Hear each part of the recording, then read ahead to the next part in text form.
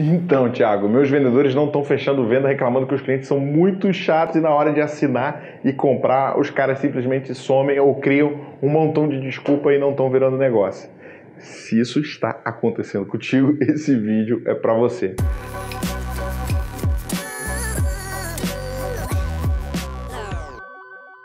Se tem uma coisa que o meu time não gosta, imagino que deva acontecer a mesma coisa na tua empresa, é cliente com objeções. Cara, isso é uma grande cagada. Por que, que é uma grande cagada? Cara, toda vez que o cliente tem uma objeção, ele está te dizendo, por favor, me convença a assinar o contrato com vocês. O cliente que você tem que se preocupar, que para mim é um problema, é quando o cara não tem um motivo para não ter fechado o negócio ainda. Quando o cara não tem nenhuma objeção e simplesmente ele não assinou. Sabe o que isso quer dizer? Que ele não está sendo sincero com você. Se ele não está sendo sincero, você não se conectou. Se você não se conectou, dificilmente existe uma relação de confiança. E, cara, eu não vejo uma venda sem uma relação de confiança. E aí você tem um grande problema. Então, beleza, Tiago, você está você é maluco, né? Você está me dizendo que ter objeção é um negócio bom. Agora me explica, o que, que eu faço com o meu cliente que está cheio de objeção e não assina o contrato comigo de jeito nenhum? Cara, essa é a melhor parte da venda, porque se você seguiu todo o processo, você entendeu que esse cara tem poder de compra, você entendeu qual é o orçamento dele, você entendeu que o teu produto resolve o cenário dele, o que está faltando apenas são algumas inseguranças que existem na cabeça do seu cliente que precisam ser retiradas. Como é que a gente resolve isso e fecha essa venda? Cara, igualzinho o Capitão Nascimento entrando na favela, fatiando Caraca, fatiando. Pô, ficou legal isso, né? Então, como é que você fatia a objeção? Para com o teu cliente, agenda uma reunião. Eu gosto de fazer isso com, meu, com o meu time de vendas. Eu gosto de ensinar eles a resolver sozinho. Mas se eu vejo que é um cliente um pouco mais casca grossa, eu entro e aí eu uso toda a minha autoridade. Tudo bom? Boa tarde, aqui é o Thiago, diretor de vendas.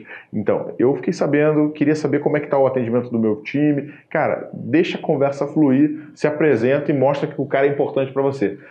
Beleza, teve o primeiro papinho, cara, acha uma entrada de conexão. Eu chamo isso de rapó. Então, existe alguma semelhança entre nós dois em que eu consigo quebrar esse gelo e estar tá mais próximo de um amigo do que de alguém que está tentando empurrar um produto? Beleza, você já ligou um gatilho na cabeça do cara que ele vai te tratar muito melhor do que ele te trataria um, simplesmente, um simples vendedor, né? Então, Beleza, cara.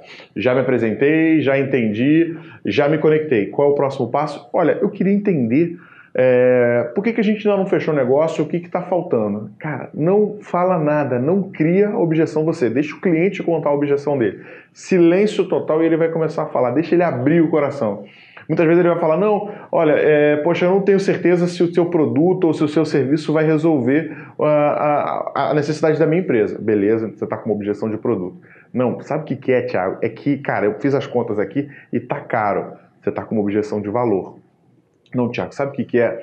é? é? porque no passado eu contratei uma empresa parecida com a sua e no final não deu certo. Opa, ele tem uma experiência negativa com uma empresa semelhante à sua. O que, que você precisa? Você precisa listar cada uma dessas objeções.